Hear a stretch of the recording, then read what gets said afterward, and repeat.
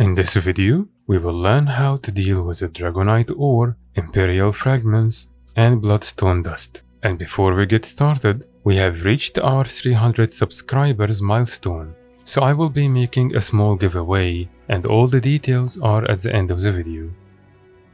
Hello everyone. I focus on making short and simple guides on different topics for new and casual players. So make sure to subscribe and enable the notifications to know when the guides are posted. To make things easy, instead of saying Dragonite ore, Empyreal Fragments and Bloodstone Dust every time, I will just call them Ascended Materials for short. The best way to deal with Ascended Materials is to craft Heatstone and then sell it on the trading post. This item sells for about 15-16 gold at the time, so you make a very decent amount of profit.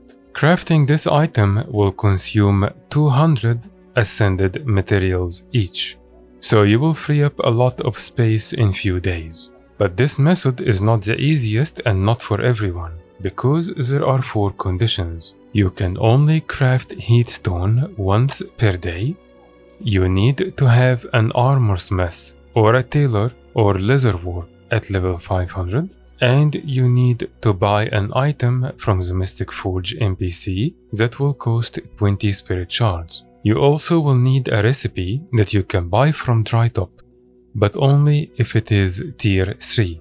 This is not very hard to do, even if you are not on an organized map.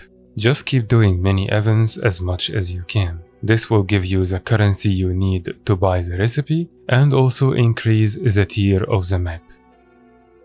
The second method is by using converters. Those are items that consume ascended materials and in return give you some junk items. There are a total of 7 converters. Each one have a limited amount of use per day and each one have a different achievement that you need to complete in order to get the converter. Some of those achievements are easy and others are a little hard.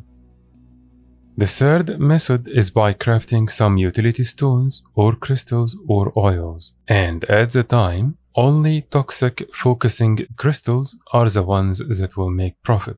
To be able to craft them, you will need an artificer level 450 and a recipe that you can buy from the trading post or can be sold randomly from the Pact supply merchants. There are also two other utility types. They are Corsair and Magnanimous.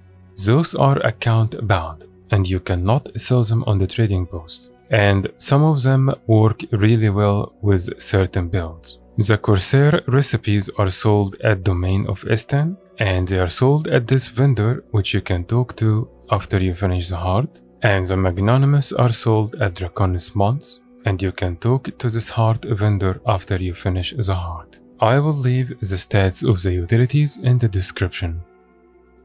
The fourth and last method is by crafting ascended armor and weapons. If you are planning to craft some of them in the near future, then you will need a lot of those ascended materials and so you should save them. Now, before we talk about the giveaway, I would like to thank everyone very much for the support in all its forms, especially by subscribing. I really appreciate your support and am grateful for it. So we have 50 mystic coins for the first place and a stack of globs of ectoplasm for the second place. All you have to do to participate in the giveaway is to leave a comment with your in-game username this is the one that have numbers in it, and the winners will be picked randomly after exactly 48 hours of this video's date. Once we know who the winners are, I will send you an in-game mail with your items in it. And we are done. Thank you very much for watching.